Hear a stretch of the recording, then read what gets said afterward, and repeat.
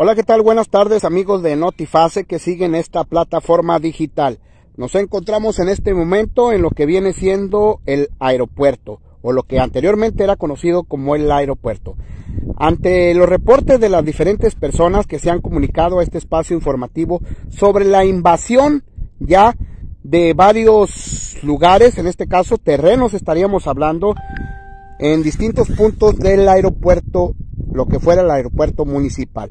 En estos momentos, para confirmar esta información, estamos viendo cómo ya está deslindando un espacio aquí precisamente en este lugar, pegado a la autopista de lo que venía haciendo el aeropuerto con palos y con señalamientos adecuados. Estamos observando plenamente ya cómo este lugar está siendo invadido. Se desconoce quiénes son los que están detrás de estos invasiones. Sin embargo, hasta el momento se supone, se especula, se rumora, se dice y se cree que pudieran ser personas de un cierta o de una cierta organización. En este caso estaríamos hablando que ya el presidente municipal tiene conocimiento de esta invasión, sin embargo hasta el momento no se ha dado a conocer el motivo o la razón del por qué se está llevando a cabo esta invasión. Aquí podemos apreciar, como le digo, ya dentro de lo que es el aeropuerto esta pequeña invasión.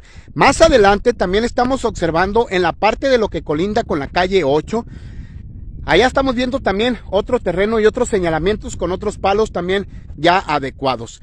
Asimismo también voy a señalarle en lo que fue el hangar, allí también precisamente en ese lugar y a un costado podemos observar plenamente que ya está totalmente cercado el lugar. Esto llama la atención, como le decía hace un momento, del motivo y la razón por qué se está llevando a cabo esta invasión principalmente en estos lugares. Esa es la información que se tiene hasta estos momentos a petición de varias personas que se comunicaron a este espacio informativo sobre esta invasión. Ya como le dije anteriormente, las autoridades correspondientes, estamos hablando del gobierno municipal y el gobierno del estado, ya tienen conocimiento de esto. Sin embargo, no han tomado cartas en el asunto.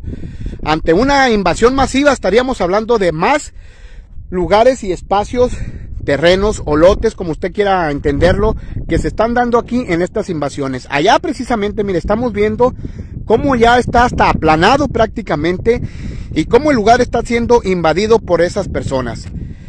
Allá estamos viendo en la parte de lo que colinda, esta es la calle Quinta, precisamente estamos sobre la calle Quinta. Está totalmente trazado al lado, al lado de lo que viene siendo el aeropuerto, precisamente en ese lugar. Y para muestra de lo que está sucediendo es este, ya terreno pues deslindado, parece ser que hasta ingenieros vinieron y lo midieron porque está bien cuadrado como está haciéndose la invasión en estos momentos.